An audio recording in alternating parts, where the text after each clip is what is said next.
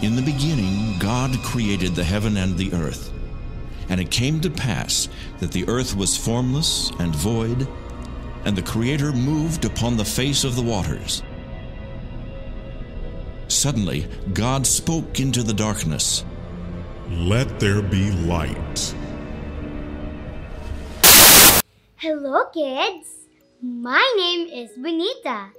Today, I would like to tell you a story about a man who became a king of the new creation.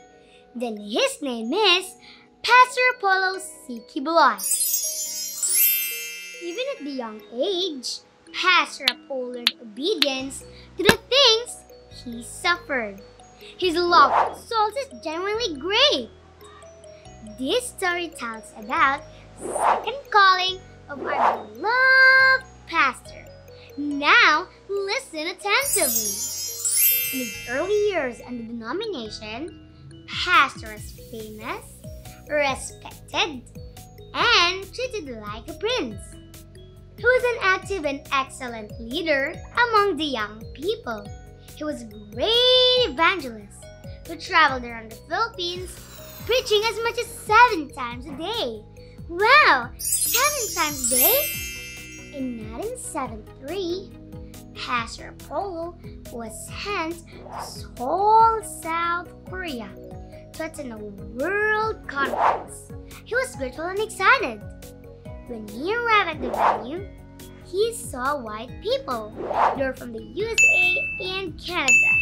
He was the only Filipino among the attendees. He looked different from the others. He was the only representative from the Philippines and Asia. Immediately, he became the focus of their attention. Well, I'm proud to be a Filipino. During the last night of the conference, a service was held. Everyone felt the strong presence of God. There were tears in Pastor's eyes. He cried like a baby. While in deep prayer, something unexpected happened. He heard a voice in Cebuano. Gumitunta ka. Hmm, who is playing a trick on me? It is only me who can speak Cebuano here. Pastor Polo wondered, but he felt that his heart was squeezed. His tears were flowing like a river for the first time. The conference ended, but Pastor Polo could not forget what he heard in Korea. He found it not ordinary, but he felt that his heart was squeezed like a lemon.